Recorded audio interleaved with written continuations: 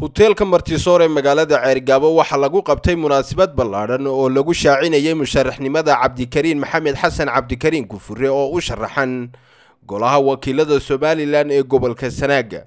Munaasabadan oo ahayd mid si weyn loo soo agaasimay waxaa ka soo qayb galay madax dhaqameed waxgarad haween dhallinyaro aqoon-yahan iyo marti sharaf kale oo tiro badan kuwaasi oo si mug iyo miisaan leh u taageeray musharax cabdikariin gufure ballan qaadayna inay hiil iyo hooba la berber istaagayaan musharaxa.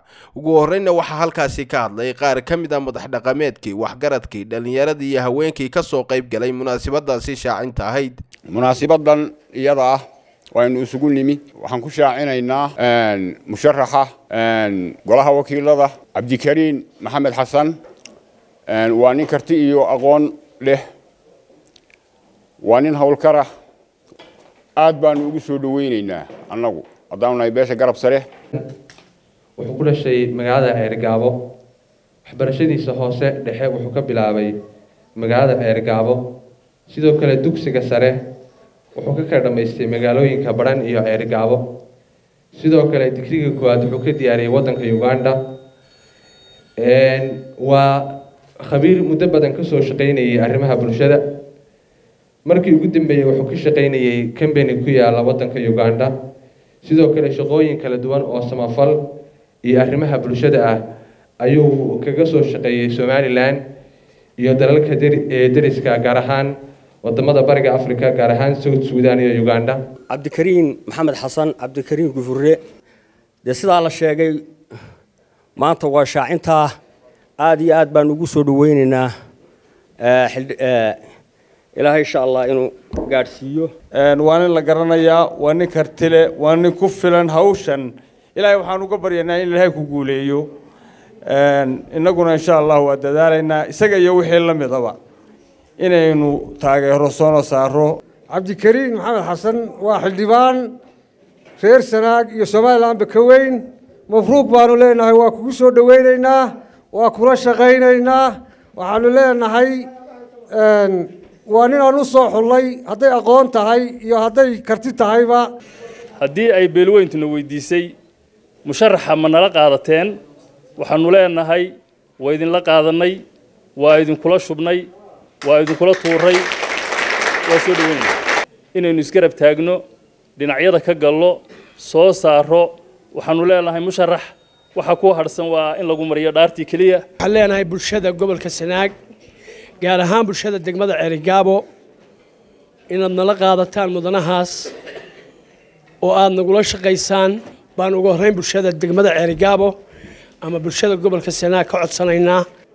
Waxaanu leenahay cabdikariin gacan ha lagu siiyo doorashadiisa baahintiisana ha la baahiyo ama mushaxirnimadiisa ama u codeeyaanba haddii lahaydmo cabdikariin maxamed xasan waa uun maanta waa shaacintii. Aynu cabdikariin. Aynu shaacinnay. Inuu musharax yahay baynu shaacinnay. Cayaara waynoo dambayn doonaan oo wakhtiga doorashada ayaynu cayaaraheenna la soo bixi doonnaa ilaahay waxaynu ka rajaynaynaa inuu ku guulaysto oo cod fiican uu ku soo baxo waana u ducaynaynaa. Magacdheer cabdikariim gufure. Waa ku soo dhowaynaynaa waana taageersannahay waana la shaqaynaynaa waana ugu ducaynaynaa. Waxaa weeye cabdikariin maxamed xasan waa soo dhowaynaynaa waa kula shaqaynaynaa. Hiil iyo hooba waa kula garab taagannahay. Waxaan soo dhowaynayaa musharax xildhibaan cabdikariin maxamed xasan cabdikariin kufure ka dhallinyaro ahaan ama garabka dhallinyaradan afkooda ku hadlayo waa soo dhowaynaynaa waana ku taageersannahay. Waxaanu leenahay ninkan cabdikariim allaha kugu geeleeyo xilkaagaana si fiican oo sharaf la u guro. Waxaan soo dhowaynayaa musharax cabdikariin maxamed xasan gufure. Inaad ku guulaysataa.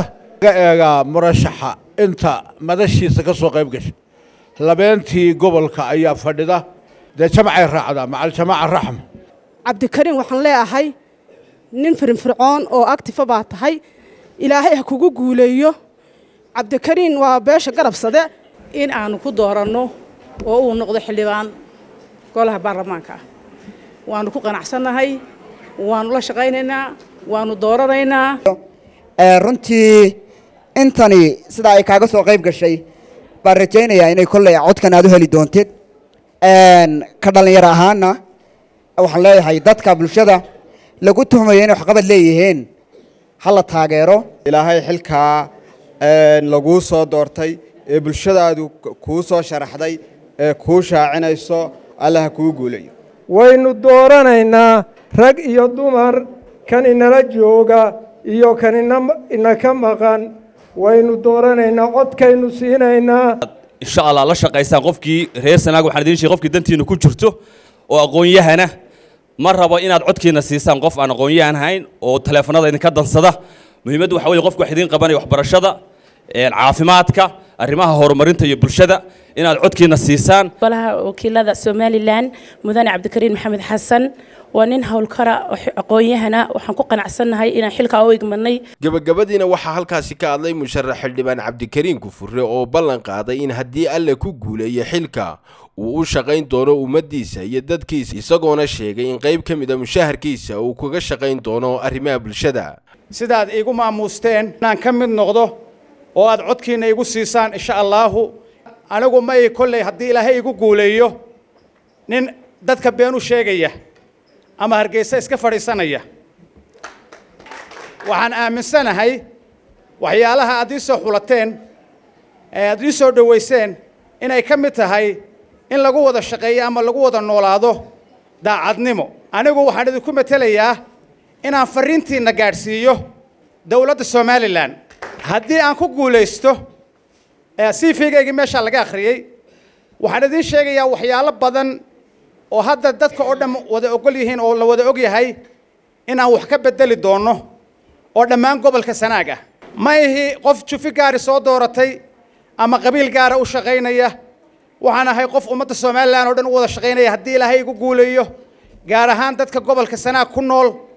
Waan ka warhayaa baahiyuhu sida ay yihiin. Ma lay dooranayo inaan booska wakiilnimada aan carruur ka korsado ama aan noqdo nin mushahar ku qaata. Waxaan ballan qaadayaa hortiinna ka ballan qaadayaa. Anigoo aanan been idiin sheegin.